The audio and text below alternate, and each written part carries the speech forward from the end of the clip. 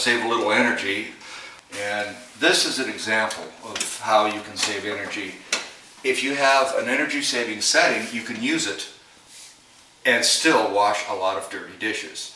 Some people say, oh, there's really dirty, so I'll put it on a long, long, uh, long wash. Well, even if it's a long wash, if it's not loaded right, you won't get a good wash. So here's a few pointers. One, read the owner's manual.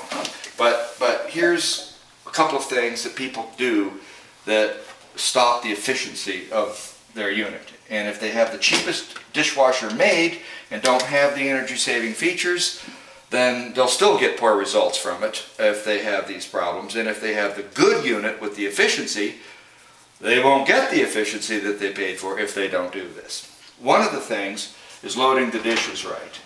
Uh, for example, if I take this dish and put it right here and close the door, this is going to stop the spray of the water when this door is closed to all these utensils in here. And uh, one would say, okay, well, I'll, I'll, I won't do that, but if you don't have this little thing here, you've got to load all these things this way and leave this whole row empty so that the water from here can spray to there. And even if you do have this, you're only going to get a very little bit if you have a dish right here to spraying these things clean. Another thing is if you put this here and your soap is here and the timer says it's time for soap batch B, this can't open because this is in the way. Well, it'll eventually wiggle loose and it might eventually open right by the time you're trying to rinse the damn dishes clean and then you're going to end up with all those spots. It's a damn dishwasher. Well, it's the damn dishwasher loader, not the dishwasher. Uh, so you have to be careful where you put tall items. Not only that, um, if you have something like up here, you say, well, you know, I should just put this in there, you know, because I want to wash my little cup. Well, watch this handle and watch what happens when I put this thing here. This thing can't turn. Oh, well, I wouldn't do that. So, of course you wouldn't. You'd set it like this. But what if the spray, when this thing was spinning, shot this thing up and knocked it down? Now all of a sudden, everything on the top is not getting the action spray that it needs. So you think your dishwasher needs to be run for a real long time and you waste all those efficiency options. Another thing is this handle here, you know, could go down in there as well. You would say, well, you know, it's sitting there. Well, this could move and it could go down from turbulence, knock, knock that down.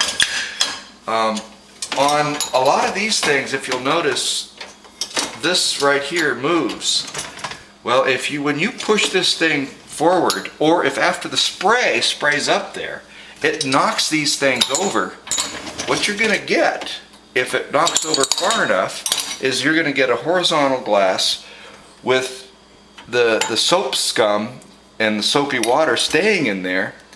And if you choose the heat dry function, you then bake that soap, which is a, a kind of a salt. It's very caustic actually you ruin the wedding china, uh, it'll bake it onto the glass. So you really have to pay attention so that it's being used as it was designed. Um, one of the things that, that I have found is if I put in the back, if I put them all in one direction, then that flow can, can spray out and then wash down. The only one that doesn't get the wash down from the, the last, the previous spray is the first one. So if it's not too far over, let's see if this one will do it. Put this spray over here. And here's how you can see if your dishwasher is going to work for you. With how you load it to see how far that little spray nozzle goes.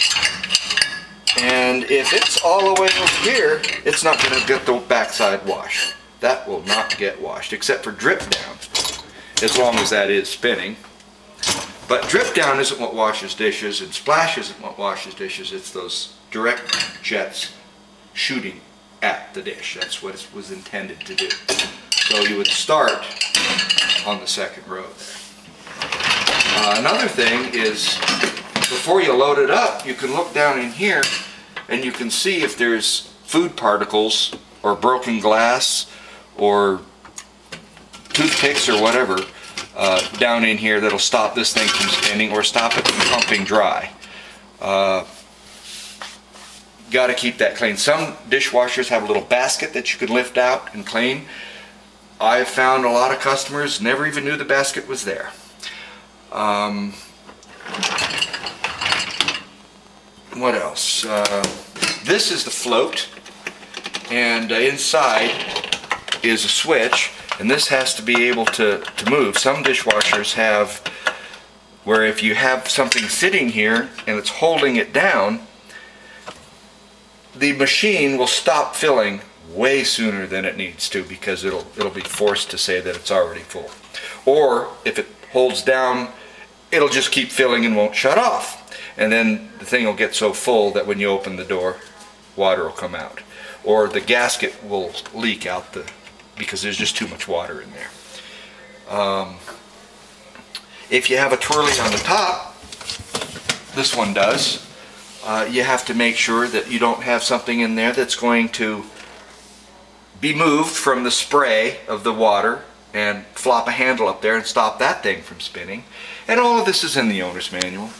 And the last thing I'll mention is, you know, here's a pair of chopsticks or anything like it. If they're sitting in here like you might want to put them, and it looks all fine and dandy, if this thing where if the door closes, you can't see it. You know, you wonder if the like the refrigerator light's still on. Well, let me tell you, gravity still exists when you close this thing. And if this thing goes all the way down and you close the door, then this thing will try to spin right past it when that door is up and it'll catch it. So you have to be real careful with stuff like chopsticks or or the like, uh, like meat meat uh, prongs that can fall through there and stick out stop that thing from spinning.